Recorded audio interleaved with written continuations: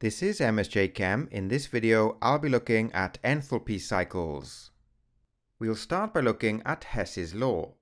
Hess's law states that the enthalpy change for a chemical reaction is independent of the route by which the chemical reaction occurs. In this enthalpy cycle, there are two possible routes to get from reactants A to product C. One route is to go from A via B to C, the other route is to go directly from A to C. So according to Hess's law, the enthalpy change for the reaction will be the same if we go from A to B to C, or if we go from A directly to C. So this can be represented in equation form as delta H3, which is the direct route from A to C, is equal to delta H1, which is the route from A to B, plus delta H2, which is the route from B to C. So regardless of the route that we take to get from reactants A to product C, the enthalpy change will be the same. Next, we'll have a look at an example.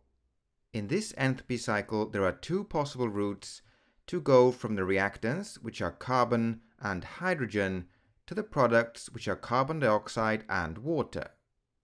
The first route starts with the reaction of carbon and hydrogen to form 1 mole of C6H6 which is benzene. This represents the enthalpy change of formation of benzene, and we'll call this delta H1. Next, we have the combustion of 1 mole of benzene to form carbon dioxide and water, which we'll call delta H2.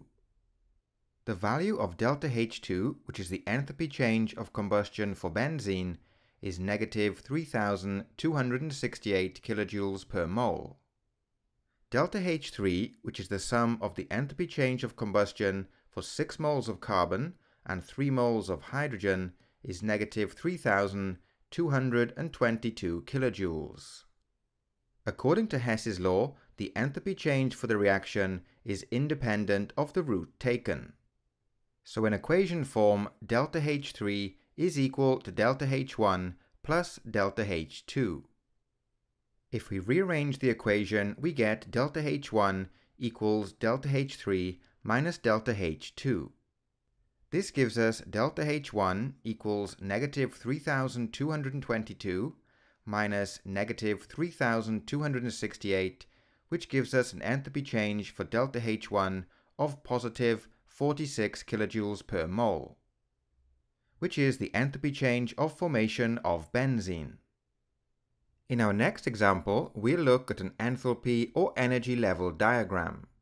So we'll start with this downwards arrow on the right, which is for the enthalpy change of combustion of C2H4, which is ethene. So in the reaction, 1 mole of ethene reacts with 3 moles of oxygen to form 2 moles of carbon dioxide and 2 moles of water. And the enthalpy change for this reaction is negative 1411 kilojoules per mole. Next, we look at the enthalpy change given the letter Y. This enthalpy change represents the formation of 1 mole of ethene from its elements carbon and hydrogen, which is the enthalpy change of formation. Note that this arrow is pointing in the upwards direction, which means it has a positive enthalpy change. Next we look at the two arrows pointing downwards. The first arrow represents the combustion of 2 moles of carbon to form 2 moles of carbon dioxide. To calculate this enthalpy change, we multiply the enthalpy change of combustion of carbon by 2 to give us negative 788 kilojoules. The next arrow represents the combustion of 2 moles of hydrogen to form 2 moles of water. To calculate this, we multiply the enthalpy change of combustion of hydrogen by 2 to give us negative 572 kilojoules.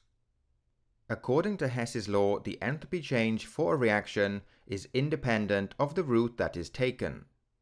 So to calculate the enthalpy change for step Y, we can add together the enthalpy changes for these three steps. Note that because we are going against this arrow, we need to reverse the sign of the enthalpy change. So the enthalpy change for step Y equals negative 788 plus negative 572 plus 1411. which gives us positive 51 kilojoules per mole. This is the enthalpy change of formation value for ethene.